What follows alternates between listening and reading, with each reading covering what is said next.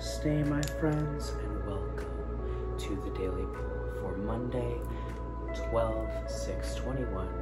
We have pulled from the Archangel Animal deck, and we have pulled the bee. Notice how we have one big bee that is here, focus zoomed in, sitting on top of this light grid flower of life. We have the sun blaring through from the upper right side, the divine masculine side.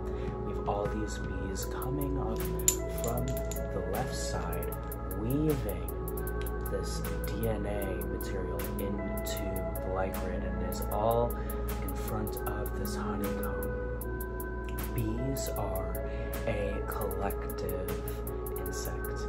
They think of a hive mind, and everyone has an important role to play to bringing their hive together, to creating their reality. And this is what humans do as well. We all come together with our thoughts, right? That sun on the right side, our analytical mind, our thoughts often begin and dictate our actions. From there, we create our reality. So, this is about healing reality with joy from the heart space. Notice how the bees are lit up right at their heart center, all of them.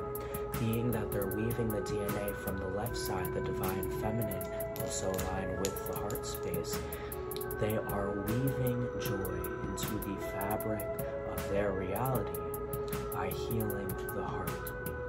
And they heal the heart through the joy. And it is all with, again, the flower of life, geometry, sacred geometric shape. And that's the light grid. This is what this is representing. So, in healing the hearts of all, we will be able to create joy.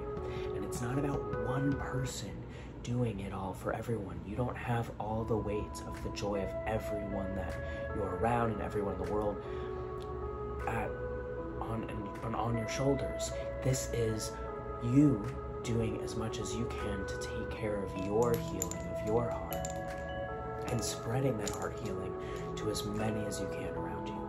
That is all that you are responsible for. Start with yourself and you will ooze joy out of your heart.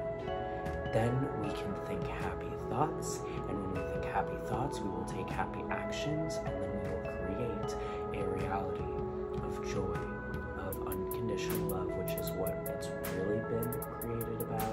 what it is created from. That's what it's all about. We are unconditional love, and so this is a remembering and a healing of our heart to feel that unconditional love and joy, embodying that and spreading it to all around us in the world. I hope that this resonates, serves, and supports you today. Happy